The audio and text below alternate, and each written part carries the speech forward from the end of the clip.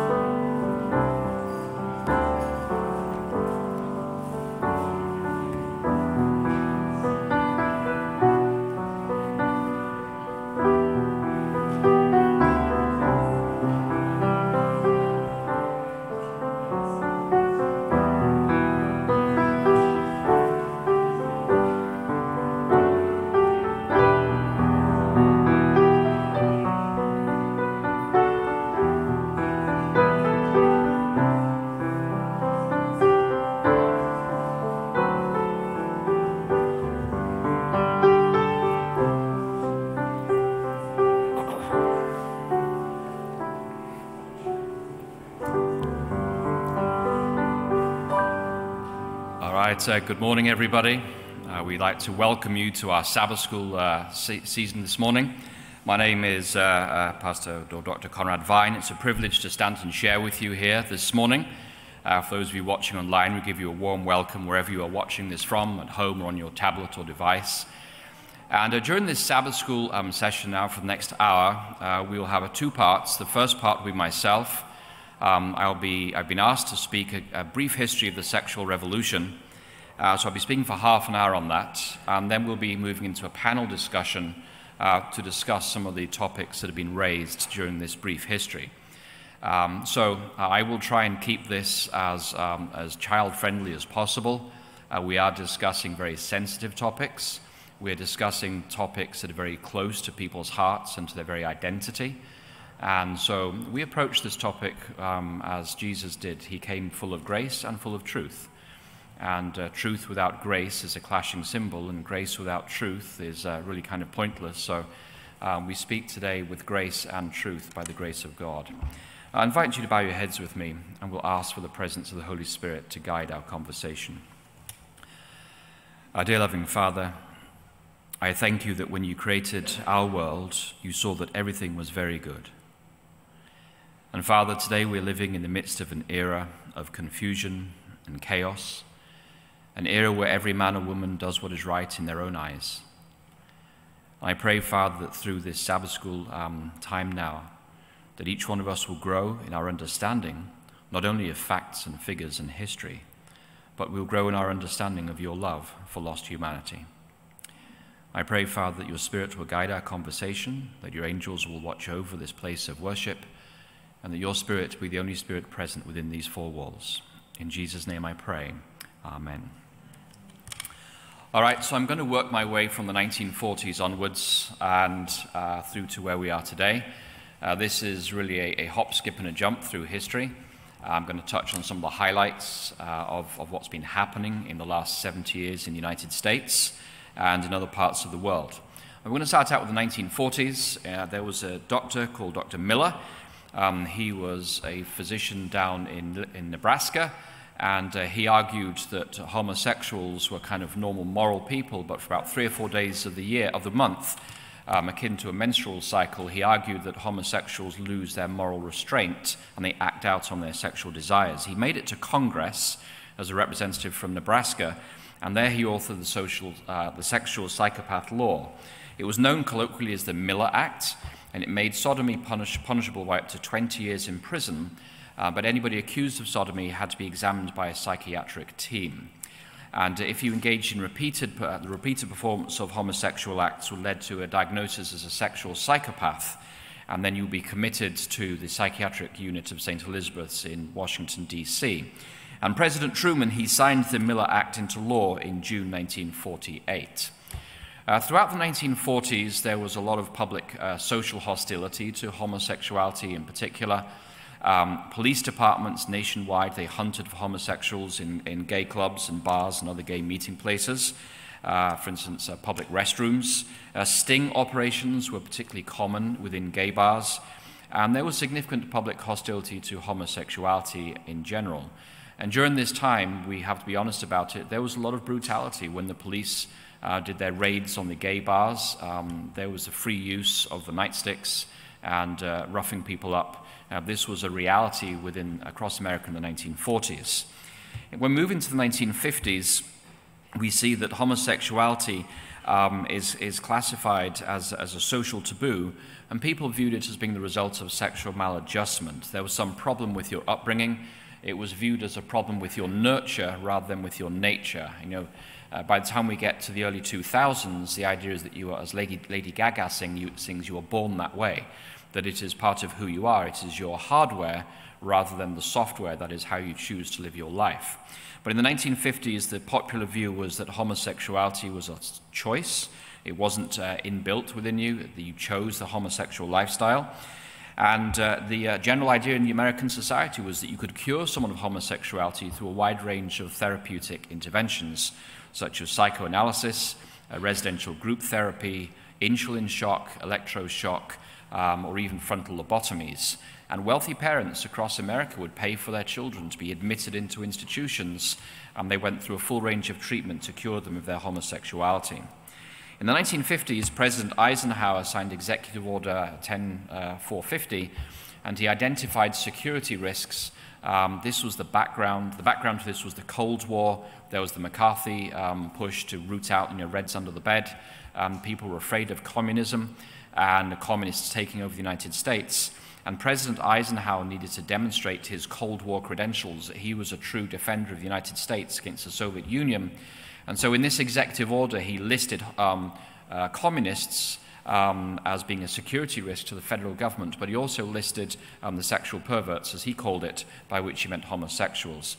And so under Eisenhower's leadership, there was a push to remove um, all, all homosexuals from the federal employment, due to the fact that they were perceived to be a security risk, that is, they could be blackmailed, and uh, the Soviets could blackmail a homosexual into passing them secrets because the homosexual didn't want it to be known that they were homosexual, or they were viewed as being morally corrosive upon their colleagues. And during the time of Eisenhower, tens of thousands of homosexuals were fired from federal employment across the United States. Very intrusive investigations were conducted uh, to anyone who was suspected of homosexuality. And parallel to that, um, these days we have woke corporations, or back then you had woke corporations in the other way. Woke corporations across America were busy winnowing out anybody who they thought was a homosexual. Uh, just a very brief summary of what happened in the US military. Well, in the 1950s, um, American popular culture promoted motherhood, marriage, and apple pie for women. And for many lesbians, this was not what they wanted in life. And so many lesbians entered the United States um, Armed Forces, the reserves, or the reg regular forces because they could earn a regular salary and benefits without the need for a husband.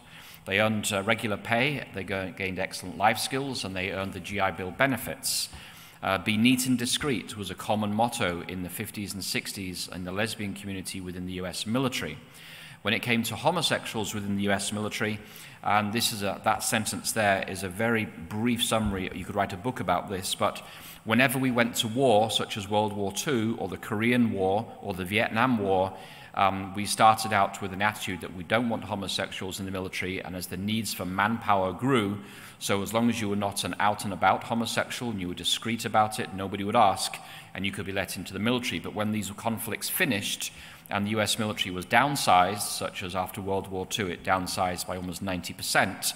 Uh, some of the first to be um, discharged were the, those who were known to be homosexual. So the, rank, the homosexuals in the ranks rose and fell depending on the manpower needs, and, um, but it was never publicly accepted within the military per se. And if you were overtly homosexual, then you were given a dishonorable discharge. And for those of you who served in the US military, you know that there are lifelong consequences for having a dishonorable discharge. We then come to the, I'm not sure, can we move on to the next slide? Uh, we then come to the, the um, early gay rights movement, the gay rights movement. A very famous gentleman was known as Harry Hay over in California. Um, he argued that homosexuals are an oppressed cultural minority within a Marxist and a communist worldview. He was coming at this issue from a Marxist perspective. Um, if you heard my Wrong Think series, we talk about cultural Marxism. Well, he was arguing for this back in the 1950s, and he established a very famous organization known as Mattachine. I think I pronounced that right. And Mattachine, they, they started fighting for the rights of homosexuals to avoid entrapment by the police. And for the first time, we had the explicit linking of homosexuality with civil rights. And he argued that homosexuals needed to have their civil rights as US citizens honored by the state and federal authorities. In April 1953, there was the first convention of Mattachine um, over there in the Bay Area. This was the first public meeting in US history of a group of, of, of open homosexuals. And they were discussing how they could lobby for their rights, how they could prevent police brutality and entrapment and sting operations and during that event in 1953, speakers spoke of their pride in being homosexual. They anticipated walking down Hollywood Boulevard in a pride parade, arm in arm, proclaiming their pride and of the need to come out into the open. That was one of what the lesbians was challenging the group to do there. And the parallel to that in the 1950s, in the lesbian world, the, the Daughters of Bilitis um, was a lesbian rights group formed in 1955 to help lesbians adjust to and prosper in a heterosexual dominated society. They published a, ma a uh, magazine called The Ladder. It sought to raise the political profile of lesbians and homosexuals as voters, that is, we are a voting bloc. Like, don't ignore us, we, we can vote at the polls. And they wanted to roll back the VAGLUD and the other anti homosexuality laws. Uh, vagrancy and public lewdness, uh, that involved, for instance, um, uh, doing sting operations with, with homosexuals in public restrooms and bars, and uh, the police setting people up and then arresting them under VAGLUD laws. And so the Ladder, that was their magazine in the 50s, uh, started to focus on the political rights of lesbians rather than on their social acceptance. And so the battle was fought, uh, starting to be fought along political lines. Um, when we come to 1964, uh, there was a dialogue between homosexuals and uh, liberal pastors in the Bay Area near San Francisco. Now, out of that dialogue, um, the Council on Religion and the Homosexual was established as like a, a forum for liberal pastors and uh, homosexuals to meet and discuss their particular concerns and to promote an ongoing, dialogue between liberal churches and the homosexual community.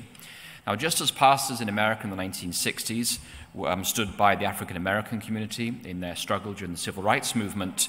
So pastors were challenged to stand by homosexuals and their struggle for justice within American society.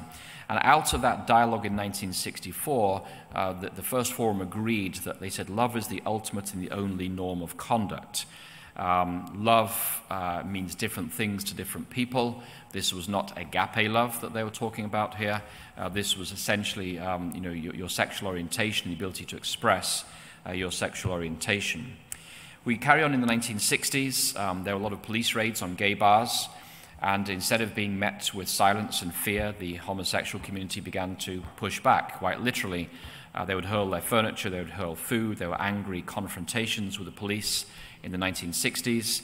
In 1967, 1966, a young man called Steve Ginsberg started what became known as PRIDE, the Personal Rights in Defense and Education. We've heard of Pride parades, for instance. And uh, hundreds of Pride supporters began to demonstrate in front of police stations um, across the United States in response to what they uh, believed to be police brutality and sting operations uh, that had a profound impact on people's lives. Perhaps the leading figure in the gay rights movement in America in the last 60 years was a gentleman called Frank Kameny. I, uh, Kameny, I'm not sure how, I think it's Kameny. I tried looking like how do you pronounce this guy's name, but I never found it. He was uh, uh thrown out of the US military. I think he was in the Navy when they discovered that he was homosexual. He was a brilliant astronomer, and he led a, a very active gay rights movement, uh, political lobbying group in the Washington, D.C. area from the 1960s onwards, all the way through to President Obama's era. He is perhaps the key single figure in the American gay rights movement. Now, he lobbied Congress. Rather than taking the, the, the battle to the streets, he recognized that you have to change the politics. And so he argued that homosexuals should have the full and equal civil rights and legal equality to heterosexuals within American society. He argued further that homosexuals should not wait for the heterosexual society to grant those rights to homosexuals, but that homosexuals should learn from the civil rights movement and they should be robust in their demands to achieve their own legal objectives in society.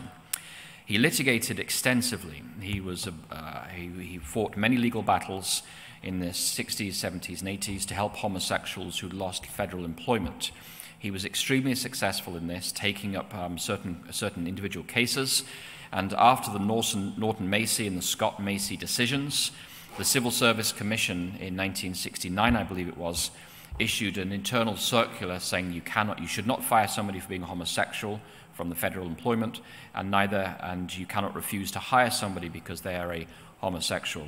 Uh, was a brilliant strategist. He was a keen thinker. Um, he held one press conference with a homosexual and, and the homosexual said in front of the American media, I'm a homosexual. If everybody knows it, I can't be blackmailed, can I?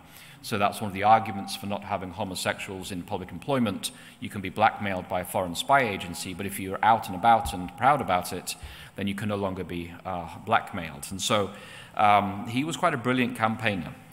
In 1969, you have the Stonewall riots, standing tall and pushing back, you might say. There was a police raid at the Stonewall Inn in, in New York and the police attempted to arrest some of the customers. It led firstly to some peaceful protests and then to what we may consider rioting, although rioting is a very fluid concept. And this came after this, this came as after the context for this was the 1960s. America had a series of race riots, such as the Watts riot in 1965, the rioting in Cleveland in 66, Detroit riots in 67, and New York in 64. Those were mostly uh, on the fringes of the civil rights movement and the African American community lobbying for their rights and against brutality and uh, discrimination. And so, um, in the context of America in the 60s, where there was a lot of rioting, the Stonewall riots, uh, they're situated within that wider context that rioting um, was becoming uh, more, uh, more, not the norm, but it was happening more and more in America, particularly in the 60s. And some of the homosexual activists argued that they needed to model themselves after the militant wing, such as the Black Panthers of the civil rights movement, rather than the JFK wing of the civil rights movement. In the 1970s, uh, we have the, the, lesbians, the kind of a parallel issue there. Um, heterosexuality feeds male dominance, according to the lesbian movements of the time. Lesbianism was a conscious choice. It was a decision to be a lesbian, to rid the world of patriarchy, sexism, racism and imperialism to be replaced by socialism.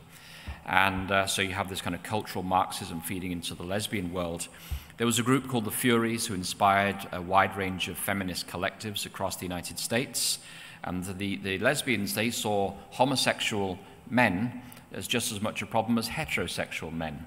And when there were sort of gay rights meetings, often it was the homosexual men who were the dominant voice, and the lesbians were kind of marginalized even within the gay rights movement. The solution for some of the, le- the lesbians was to be a feminist lesbian and to build an all women's world without men. So you might say back in the 70s that um, all lesbians are feminists, but not all feminists are lesbians. The first version of the Equality Act, which has now just been passed by the US House, came out in 1974, and they did not use the word sexual orientation or homosexuality, it used the word sexual or affectional preference. This was a very deliberate softening of the language in 1974 to try and get this thing through Congress, um, but it never made its way out of committee. There was just too much political opposition to it. But activism in the 70s was transitioning from the streets um, through to the, through to the political sphere where decisions were made. Parallel to this, there was the zapping of the psychiatrists. Zapping uh, was, was the idea that you go to a public meeting and you storm the platform and you kind of yell and shout and chant your slogans and you close everything down. Uh, you get in people's faces and you kind of shout about it and so forth. Zapping was, was a tactic used in the gay rights movement to target individuals or people who were opposed to the gay rights movement. And uh, so in 19, where was it, 1971, the American Psychiatric Association was zapped by thousands of gay rights activists descending upon the, the hotel, I think it was in DC, and it descended into chaos. Now, out of that event in 1972, um, uh, Kameny and uh, Barbara Gittings, Barbara Gittings was a very famous gay rights movement leader. Uh, she was a lesbian. She worked very closely with Frank Kameny. Um, they agreed with the American Psychiatric Association that there would be a panel discussion, that there would be no more zapping, but there would be a panel discussion of the American Psychiatric Association. And they brought along um, a psychiatrist who put on one of those anonymous masks on his face, so nobody could tell who it was. And they were um, challenging the psychiatrists as to what is a mental disorder and what is a cultural bias. And uh, you know, every society has a range of normal behavior, and, and so when is something a norm within a society and when is something considered a psychiatric or a psychological disorder? We recognize that today. For instance, if you come from, um, say, Angola, it is not wise to have an American-trained psychologist working with you because the American-trained psychologist has a bell curve like this, and in Angola they may have a bell curve like that of what is considered normal. And so Psychi psychiatry and psychology are very um, socially and culturally conditioned as to what is considered normal. And so um, in the 1973 American Psych Psychiatric Association, they had a reference committee, and then their overall conference voted to replace the word homosexuality with the phrase sexual orientation disturbance within that version of the DSM, the Diagnostic and uh, Statistical Manual. That's kind of the handbook or the Bible for the psychiatric profession. And psychiatrists was trying to keep in harmony with the changing cultural norms of what is a, of mental influence. And homosexuality, they declared, was not normal. It, it was not normal, it was just not abnormal, which is kind of like a, a fudge position, you might say.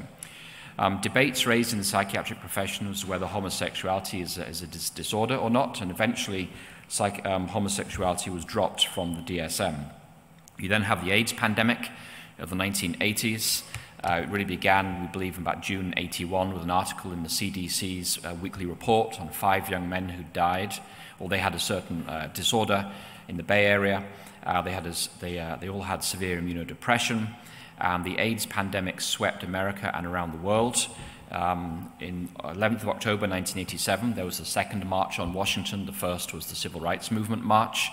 By then, 40,000 AIDS victims had tragically passed away in the United States and countless numbers in else, elsewhere in the world. Uh, in this na nationwide culture of fear, there were nationwide attacks on homosexuals on the streets, and fear ruled the streets. Um, the, the gay rights movement pressured Big Pharma to do something about this. There were pop concerts and uh, very famous musical singers like um, um, the lead singer of Queen, what's his name, Freddie Mercury, who passed away with AIDS and so forth. And so there was a high profile campaign, and by the mid 1990s, protease inhibitors were widely available, and the death rate from AIDS dropped significantly across the United States. Modern day advances. Uh, Bill Clinton came to office and he wanted to protect homosexuals within the military, even though there was significant pushback in the US military. There was a general consensus that we do not want active homosexuals in the military. And so uh, Bill Clinton and his council came up with a compromise called Don't Ask and Don't Tell. That is, if you are homosexual, lesbian, you may serve in the US military, just don't be out and about about it, you might say. And, uh, but under that policy, over 14,000 American citizens were discharged from the US military. In 2009, President Obama, and President Obama is really the key president in all of this for the transformational changes, he signed the Matthew Shepard and James Byrd Jr. Hate Crimes Prevention Act, uh, if you look into the stories of what happened to Matthew Shepard, it would make you shudder with horror. What those, what those people went through was absolutely savage, and it should never have happened in any society. And so the Matthew Shepard and James Byrd Jr. Hate Crimes Prevention Act was signed by President Obama. He then repealed Don't Ask, Don't Tell in 2010. He then amended Clinton's Executive Order 11478, prohibiting discrimination based on gender identity. And um, he also pre prevented discrimination on gender identity issues among federal contractors. In 2015, uh, we have the Obergefell versus Hughes case. That's where the US Supreme Court ruled 5 to 4 that the 14th Amendment of the US Constitution would require all states to perform and recognize same sex marriages on the same terms and conditions as opposite sex couples. And uh, right now, we have the Equality Act. The Equality Act was indeed passed by the House um, just a few weeks ago. It's now sitting before the Senate. Um, the only thing that's stopping it from being passed is the filibuster. If it gets passed, then President Biden will sign it into law. And if the Equality Act is passed, don't be fooled by the name. The Equality Act is not looking to respect the conscience of all American citizens. It is seeking to impose um, the LGBTQ ideology on everybody so that nobody can be discriminated against on the grounds of sexual orientation. And it is written in a very vague sense, because when it says sexual orientation, it literally means all sexual orientations. So theoretically, somebody who is self confessedly attracted to minors uh, could not be refused access to serve as a kindergarten teacher if the Equality Act gets passed, because that would be discrimination against their sexual orientation. So um, that's right now before the US Senate. And if you ever wondered about the filibuster being important, it is critically important for America right now uh, to ensure a balance of the rights of, of, the, of individual citizens. The state of Utah has actually passed an act that affirms the civil and, and, legal and employment and housing rights of the LGBT community, whilst also affirming the right of faith-based organizations to live out their faith. And that's a compromise that they hammered out in Utah um, quite possibly because of the heavy influence of the Latter day Saints, the Mormons across there in that state. But at the moment in America, there is no, air, there's no desire to compromise in that way. It's kind of winner takes all right now. And so the Utah compromise is not likely to happen at a national level. So um, among Adventists right now, uh, just a few weeks ago, um, this case here, Hunter versus US Department of Education, it was filed. Um, it's uh, dozens and dozens of LGBTQ students are suing. Um, they've named a number of universities such as Baylor in Texas, um, Liberty in Virginia, La Sierra Adventist in California, Brigham Young in Utah. They're targeting every major denomination in this, and they're essentially saying, they're asking the federal government to, to stop faith-based universities from upholding their faith-based principles um, and, or otherwise those universities will lose all access to federal funding. That's the bottom line here. Now, the US Department of Education is not contesting this case, which means that this is probably going to win, which means that every university, including Adventist University, is going to have to decide if we accept if we accept federal student funding for our students, we're going to have to buy into the whole LGBTQ agenda. That's where this is going with this. And there's no contestation on this case, so it's probably going to get be successful. And they're targeting um, key Christian colleges from all the major denominations to send a message that, that you have to do this or you lose your student funding eventually or any other federal funding. So, conclusions. And as you see in my sermons, I like to compare biblical worldview with that of, the, of other worldviews. I want to talk about the biblical worldview and sexual revolution here. When it comes to civil law, in the biblical worldview, civil statutes define crime and they deal with crime. They do not define sin or morality. And to break civil laws is an incivility. And that is the same with the sexual revolution. We share the same worldview when it comes to um, civil laws. When it comes to divine law, um, the biblical worldview is that divine statutes define and, and deal not with civil, uh, with crime, but they deal with sin. That is, um, harming your, na your nature, but there's a moral component added to it. And to break moral rules is by definition immoral. In the sexual revolution, there is neither God nor revealed morality, nor divine law, nor a final judgment. It's very clear as you, as you look through the literature of the last 70 years. This is, uh, generally speaking, there are, there are Christians who are in that community, but by and large, you're looking at a much more atheist and Marxist outlook on the world. In terms of the separation of church and state, uh, from a Christian perspective, we assume the separation of church and state. Um, if you don't have a separation of church and state, then you end up with things like the Inquisition taking place. And so we recognize that we don't want to go down that path. It's better to have a separation of church and state. But in the sexual revolution, they have a different idea about this. It is that the state is supreme and the state is alone, and there is no assumption of the church within the secular worldview. The church could basically shrivel up and go away. And so, when it comes to the role of the church in the biblical worldview, the church is entrusted by God with the gospel, and God blesses us with the Holy Spirit to promote, as the Apostle Paul calls it, the obedience of faith among the Gentiles and to guide individuals to morality and to salvation. That is the purpose of the church. Uh, from the sexual revolution perspective, the church is merely a social actor, no different to the Daughters of the Revolution or um, the local chess club or whoever, whatever social, social association you have in your community. And uh, they should, their role is to be an ally of the LGBT community, but they are not to promote biblical or revealed morality because the sexual revolution by and large rejects the concept of revealed morality. And when it comes to a moral framework within the biblical worldview, we live within, we are accountable to a revealed moral framework from God. Within the sexual revolution, and we find this particularly in what Kameny was arguing, perhaps the leading figure in the gay rights movement, there is no revealed moral framework and there is no moral accountability to God because God does not exist. Therefore, each individual is sovereign, we are autonomous. Auto means self, nomos means law in Greek. So, autonomous means that you are a law unto yourself. That's what the word means. Each individual is autonomous and they seek happiness as he or she or they or whatever it may be chooses. When it comes to civil authorities and morality, as Christians, we believe that civil authorities should not legislate for morality. The Inquisition or Sharia law is the logical conclusion of the state imposing their version of morality. Uh, but in the sexual revolution, they also argue that civil authorities should not legislate for morality. That was Kameny's argument in the 60s and 70s, that the federal government should not be uh, promoting a certain version of morality. But this is actually happening today via cancel culture. A new morality is being imposed on America, which is basically the absence of, of a revealed moral framework. So our time is almost up here, so I need to.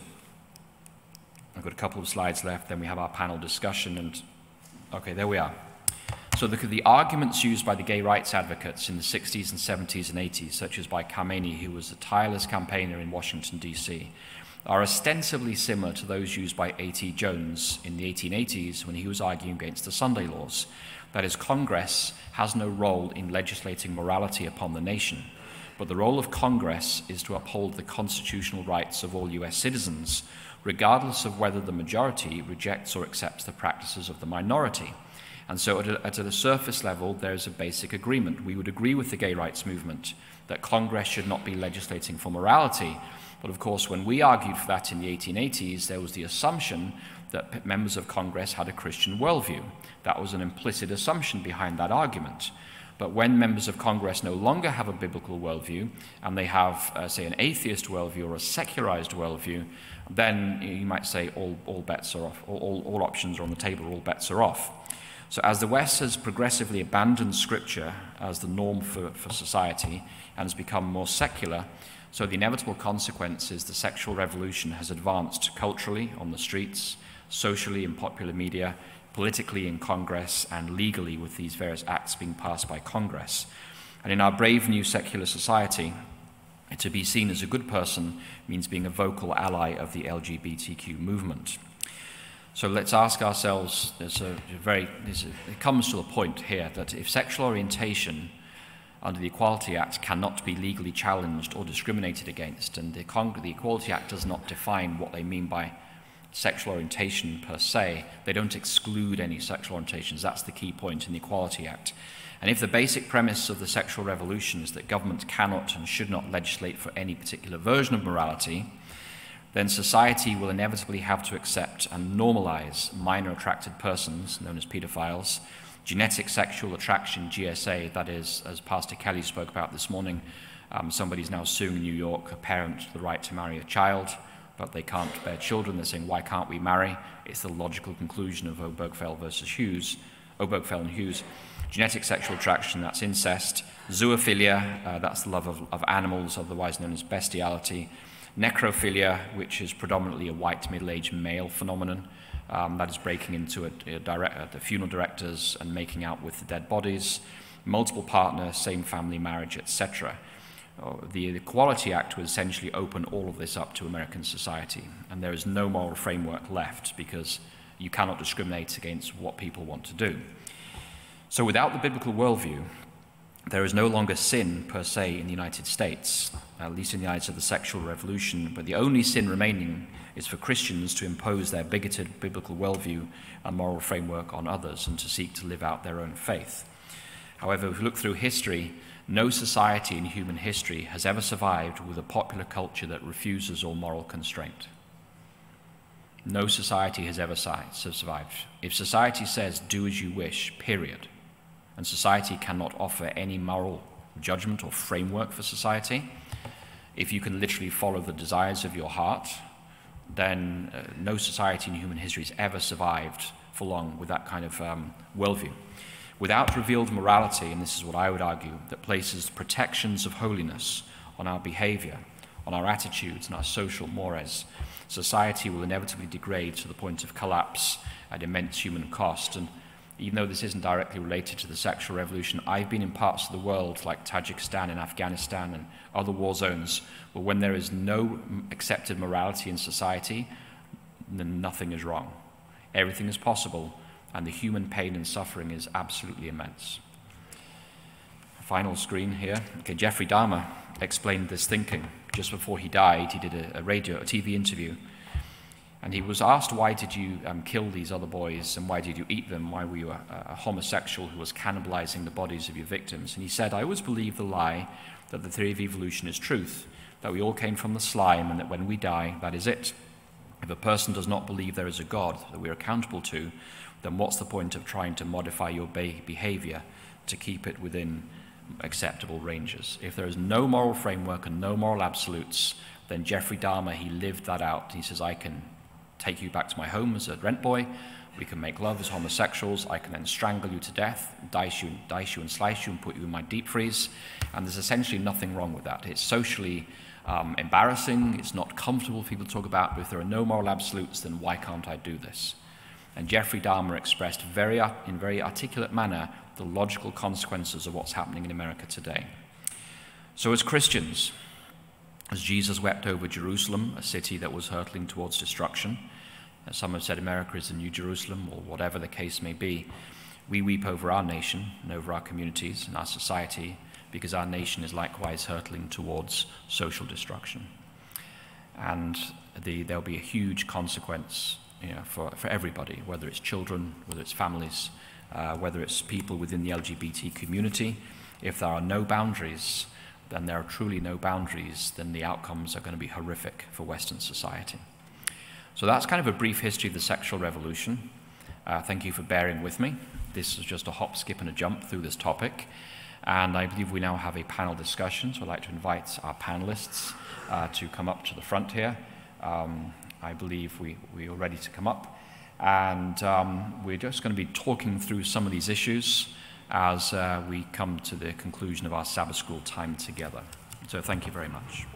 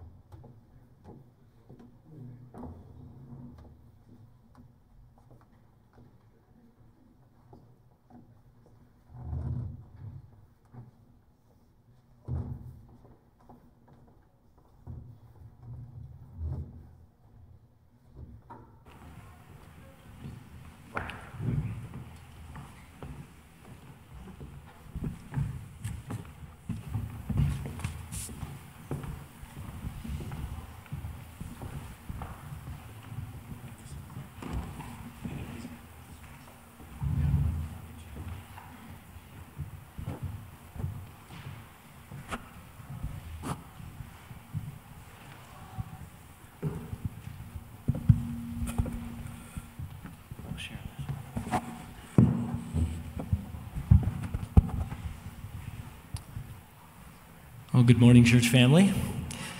And uh, we are excited about this week and uh, what God has done leading up to this. I know it's going to be a blessing and a challenge. And I appreciate Dr. Vine's presentation. History is messy, it's difficult, and I appreciate you giving us an overview there. We're going to take some time and discuss some of the things and some of the issues that he brought up. And before we do that, let's bow our heads and we'll ask the Lord to be with us. Father in heaven, we recognize and realize our own limitations and our own feeble attempts to understand without the power of your Spirit to guide us. And Lord, we ask that you would be with us now, that you would bless us. We pray for every presentation that will be made for all of us as we journey throughout this week, that you would challenge us, challenge us, that your Spirit would guide us and lead us. We know that Jesus is coming soon, and I pray that you would help us to prepare for that day. We ask in Jesus' name. Amen.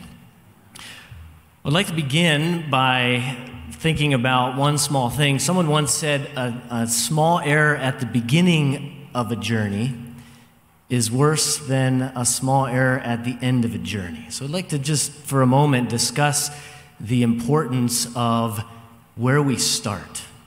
Where do we begin when we're addressing these kind of major issues that, you know, we don't live in a vacuum today. We're, we're in this flow of history and we're facing unprecedented challenges today.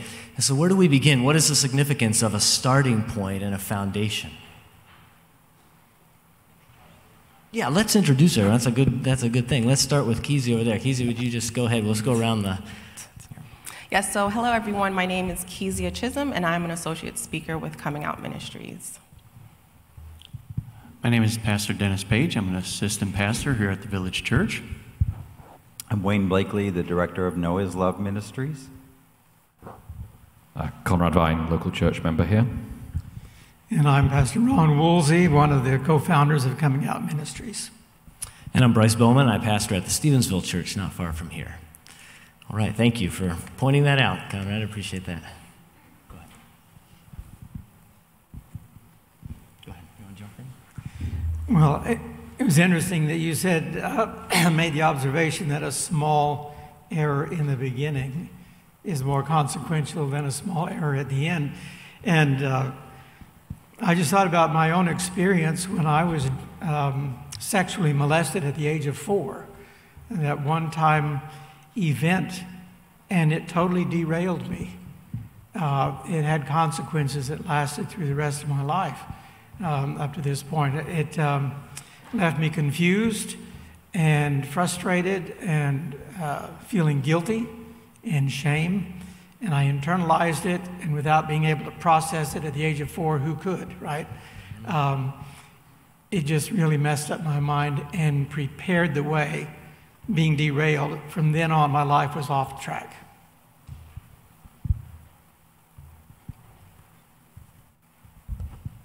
I would say that it is the impact of the stain of sin on the human body. Elaborate a little more what you mean. I'd be taken away from my presentation this evening. Okay, okay. Very good. Um, you know, essentially, we have to go back to the beginning. Uh, as, as you pointed out, uh, about how we got into this mess. So, yes, yeah, stealing from my presentation. Uh, it has to do with what started uh, the war in heaven um, and the, uh, the message of Lucifer to follow the dictates of our, only, of, our, of our will, over Christ's will for us. And I would echo that, that uh, we are created in the image of God, all of us. And part of being created in the image of God is the capacity to love. And it's the yearning to experience intimacy and love and communion and to have that reciprocated. And for that to be in a meaningful and a safe space for each one of us. And so I think that as the concept of, as, as sin has progressed over the millennia, so our understanding of what love is has also changed. And we've, we've, we've often um, veered away from love to exploiting of others and gratification and to almost a perversion of what is love today. And one of the things that you mentioned, Wayne, is this great controversy idea. And this is one of the challenges of our day and age is that this rejection of a unifying story that explains the universe. And so, within that context, sin, evil, all these kind of things make sense. But how do we address these things in a very relativistic society that no longer has a context for understanding what sin is or what evil is or has a way to define these outside of you know the context of a culture. You know i like to keep it simple and uh, i'll ask parents how many of them allow their children to dictate to you what's right or wrong? And the parents always tell me no that's not going to happen in my home. And i think about when god created humanity he's god what makes him God is because he gets to tell us what's right and what's wrong. And when we decide for ourselves and we take that role, then we make ourselves a God. We, we decide to self govern. That was Lucifer's problem. he wanted to self govern. He wanted to exalt his throne above that of God. And so he wanted the authority to decide how things are to be done. And so we live in a, a, society today that has followed that same path. I remember growing up in a broken, dysfunctional family and getting out into the world, becoming a drug user, a drug dealer, living very immoral. Um, I decided for myself what was right and what was wrong. And I wasn't going to let anybody else tell me that, even if it was a law enforcement uh, agency. So it's a mindset that unless you come to surrender to this, there is a God, and that He has the right to tell His creation how to behave, how to act, how to live, and He has the power then also to restore and uh, provide the ability to walk in harmony with Him. If we don't accept that, then we're going to continuously go down a path of our own choosing, and we see the results of that in society today. You know, on that note, we have uh, we have the situation today where you have your truth and I have my truth and he has his truth. And we forget that truth is simply fact. And you can't have your fact and I have my fact because gravity works one way, no matter what we think. Your truth may think it works one way and mine the other, and you can test it at the edge of a cliff, but I mean, it's going to prove the fact. And without that moral authority coming from the Creator, we're like ships without a sail, tossed about. There is, there, there is nothing solid to, to base it on. And that's why the world devolves into total chaos, because everyone, not everyone, but people want to have their own truth instead of the truth. And Jesus says, I am the way, I am the truth, and the life. So I think the great controversy is coming to a precipice. I often mention to parents or even to somebody identifying as LGBT um, or actually anybody else in the universe, without Jesus Christ, you can do whatever you want. Mm-hmm. If there's no, if there's not, if, if there's no disciplinary action, if there is no consequence for behaviors that would not be according to the will of God, um, this, we're coming to the point where, where it's narrowing throughout our, our history, as you well demonstrated in the slides this morning. Go ahead, Kezia. Thanks. Um, one thing I did want to mention was just knowing that, especially for me coming from a once being bisexual, um, it's very important to know what God has instructed us to in regards to our mission. So, to your initial question, um, just seeing how Christ has sent us to be wise as serpents, yet harmless as doves. So, for those of us who are well aware of God's truth, um, we have to be strategic as to how we share that truth wherever we are. Um, because, of course, within our environments, wherever we are, where God has placed us, um, He has asked us to be His hands. And with that, that does call us to be prayerful as, as to how we interact with our colleagues, our classmates, um, whomever we have within our circle, and being understanding of what their truth is, like we had spoken about briefly, because um, at the end of the day, as what was presented, there are people's own personal convictions that what they feel is correct in regards to, you know, I do as I please. So we have to remember that we are not fighting, in a sense, against the flesh. We do have an enemy that we do not see, but we do have a power that is much more greater um, in regards to whatever their beliefs may be, because we know that we have a God um, that is able to surpass our own personal understanding and work on our own behalf. And to build on your um, analogy there, Ron, sometimes if you jump off a cliff, the consequences are immediate. I mean, it's very evident to everyone that this is not a good idea. But sometimes in areas of morality, it's a little more difficult. Satan has a way with, you know, leading us down a path that the consequences are not apparent until it's too late or we're very far down that road. And so sometimes in these moral discussions, you know, why not? Because look, I've been doing this and there's no apparent harm but trusting that God knows us more than we know ourselves and knows that we can cause harm to ourselves without it being readily apparent. And that's a dangerous thing uh, to think about. Yeah, I worked for many years in Central Asia, um, mostly in Muslim nations, and I was a single guy in my 20s. And it was assumed by the Muslim men that I was gay because I wasn't sleeping with local secretaries It was just kind of like a given. And as a result of that, I was propositioned repeatedly by Muslim men who just assumed that I was gay. Some of them were donors, some of them were consular officials. It was very, a very unpleasant experience. Now, Islam does not promote homosexuality, but there is a practice in many Muslim parts of the world where that kind of playing around, particularly with small boys, is considered normal.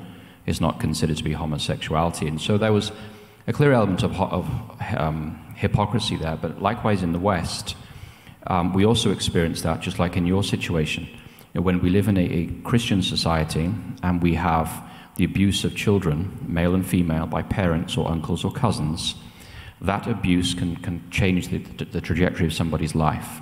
And we profess one thing, often in the church, and then we go and do something at night that's very, very different and incompatible with the gospel.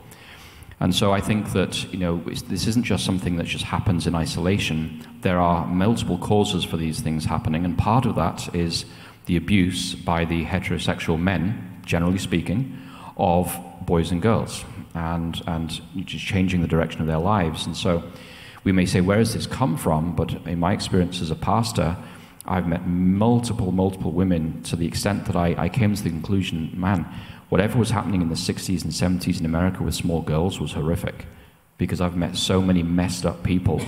And when you talk to them, it goes back to their childhood and they were abused by professing Christians. And so there was hypocrisy in this discussion, and we need to be honest about it. And if we are involved in that kind of stuff, we need to repent like today, because how many other lives are going to be messed up um, by the hypocrisy of the heterosexual community? Um, you know, a lot of people think that, that their behaviors, that, that's their own personal choice. I'm not affecting anybody else.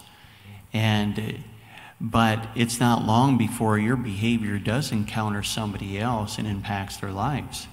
And then that person repeats the same thing.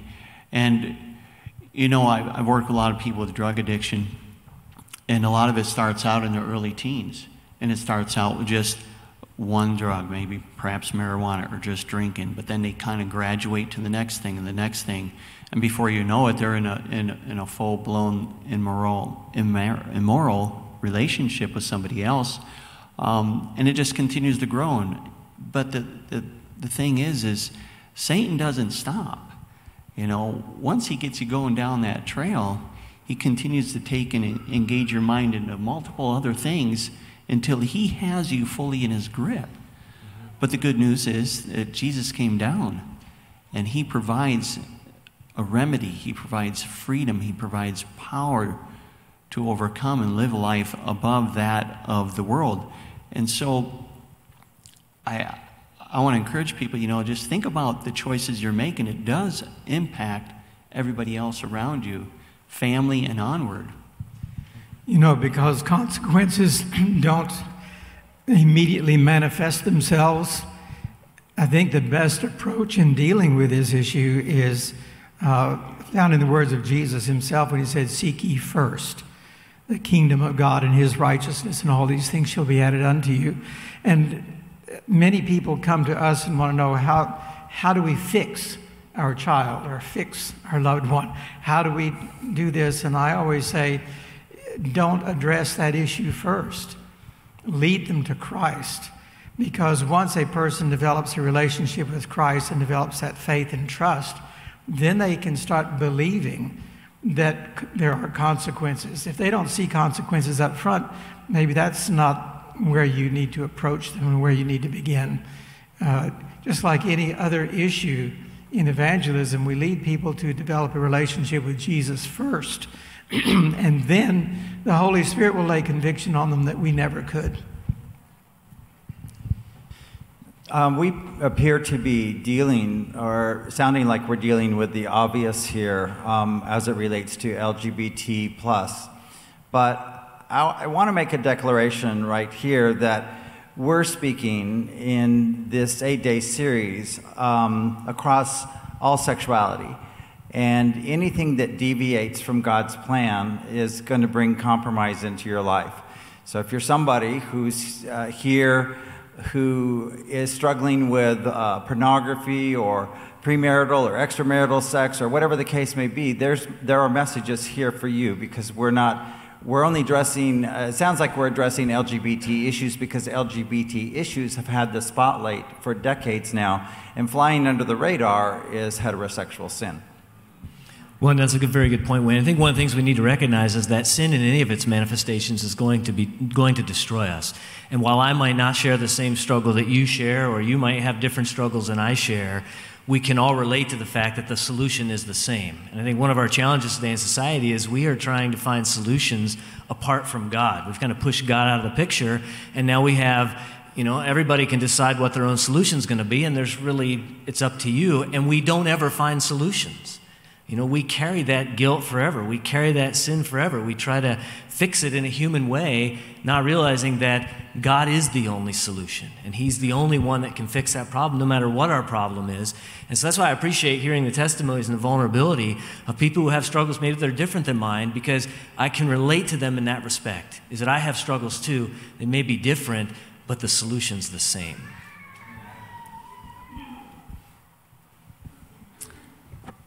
You know, I got a, a comment on the quote by Dahmer, you know, his, his comment there. And uh, you, you follow his thinking and you can't help but come to the same conclusion. If there's no accountability, if, if, if there is no um, realization that one day you're going to have to give an, an answer for your behavior and your, your choices in life, then what does it matter? Why not live however you want to live? I grew up not knowing that there was a God. I didn't believe there was a God. And so I was accountable to no one but myself. And so all the choices I made was based upon the fact that I'm only going to live here and then once in a, sooner or later I'm going to die. So why not live the way I want to live, get and gain at the cost of whatever it has to do with human life? It doesn't matter. As long as I'm happy and I get what belongs to me in my own mindset. So when you when you enter into that thought process of no accountability, we're, we're embarking upon a, a, a very dangerous time in Earth's history. Thank you, Dennis. One of the points I think that I saw listening to your presentation, Dr. Vine, is that the devil is a master of extremes. Like we seem to go back and forth between extremes. And I wonder if maybe in our last couple minutes here, maybe we'll have a little more time than this, but let's, how do we, how do we, how do we strike a balance here? A biblical balance where we're not going to extremes. We're able to, as, as Pastor Kelly challenged us earlier, to uphold, you know, to be loving, to show the grace, but not leave truth behind. To have that balance in our lives.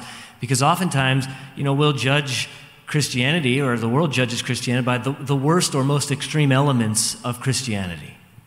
And how do we how do we walk that pathway, that narrow way in the middle where we can be loving and lovable Christians, uphold the truth, and draw people to Jesus?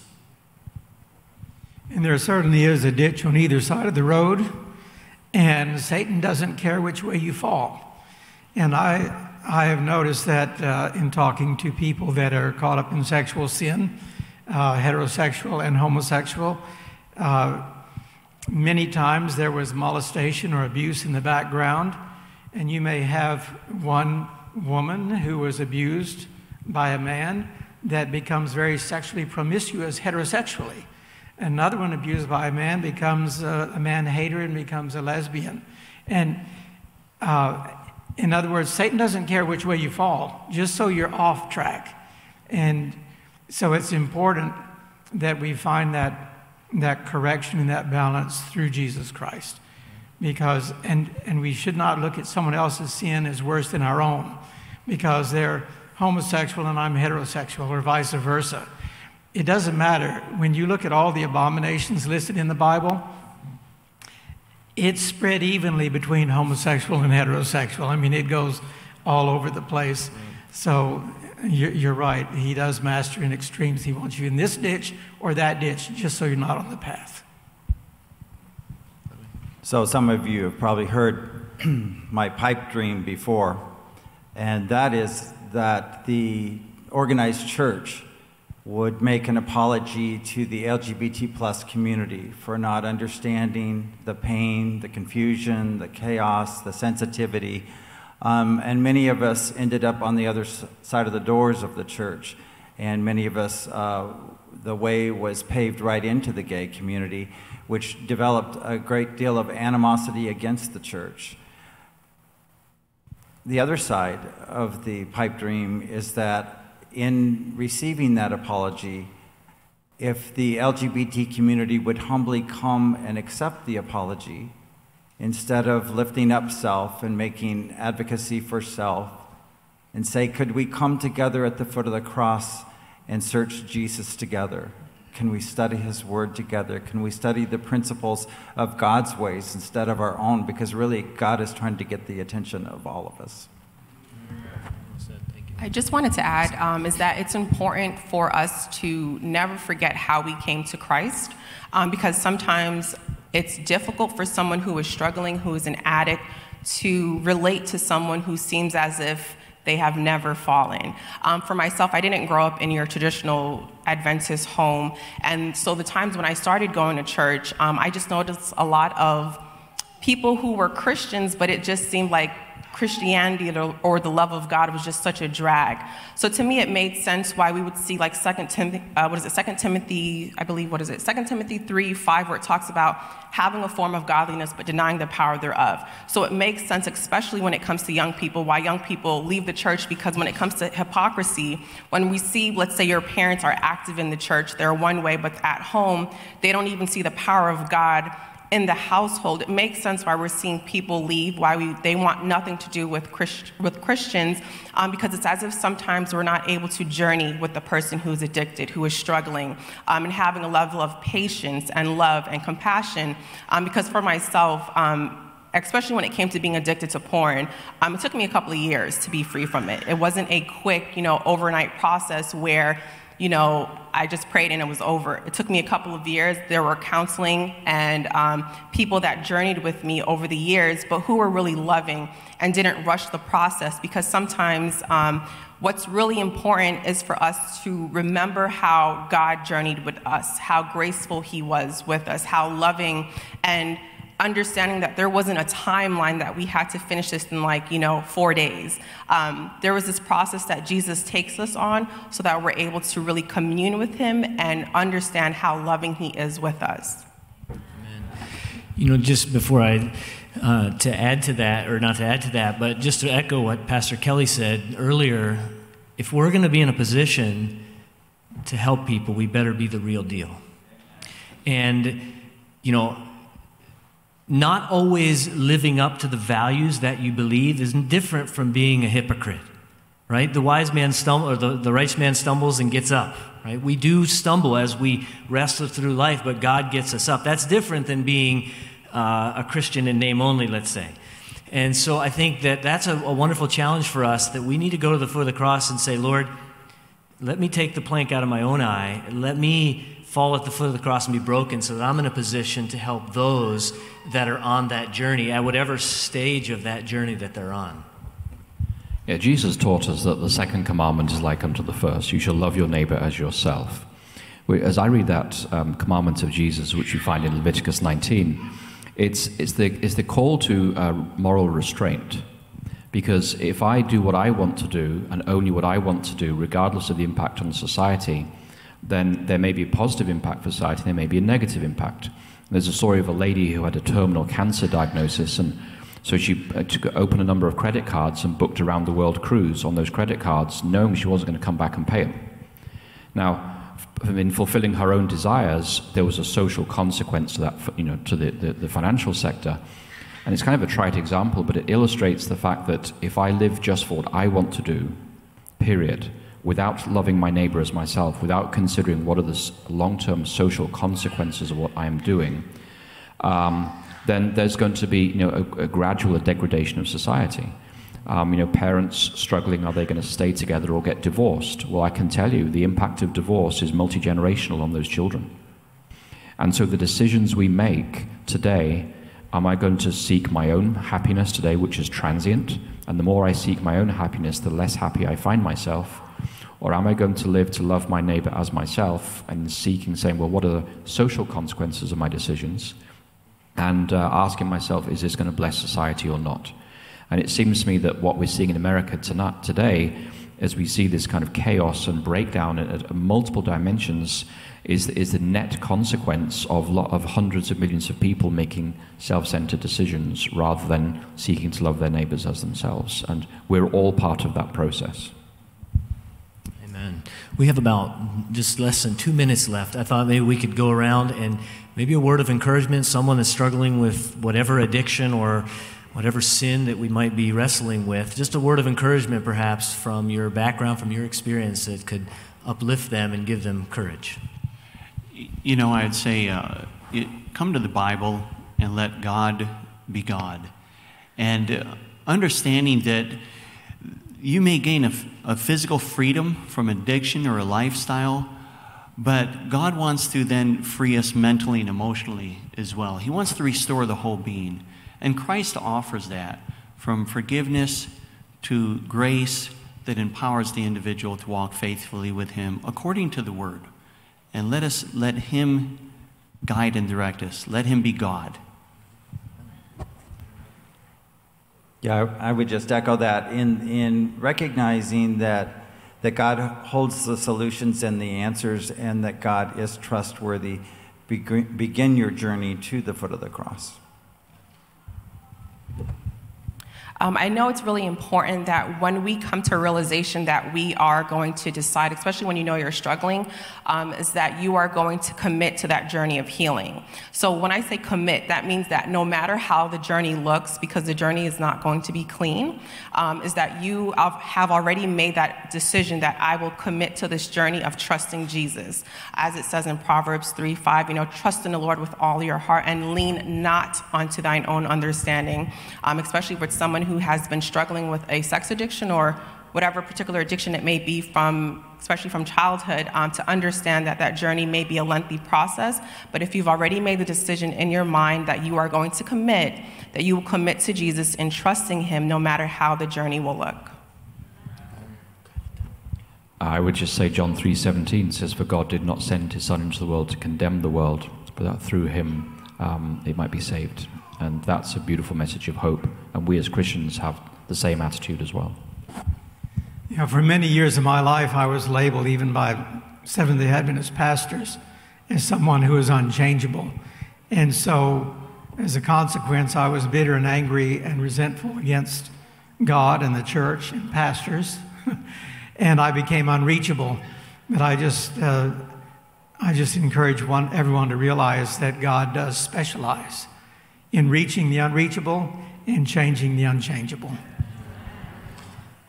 And I think a word of the necessity of prayer in those situations, in all situations, that God is more interested in our salvation than we are, and He's doing everything He can.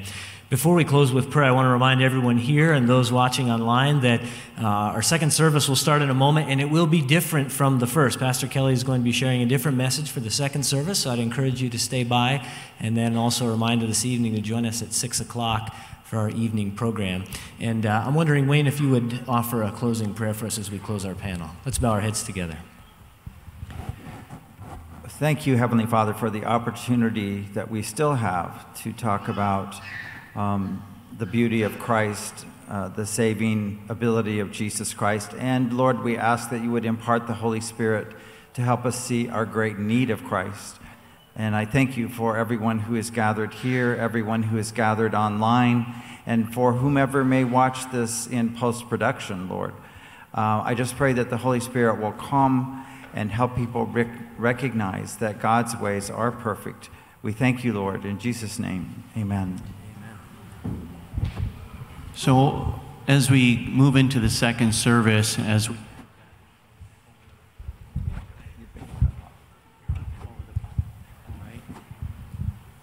As we move into the second service, as it's been our tradition, we move up one pew and uh, we'll continue to sit in those pews for the second service then. Thank you.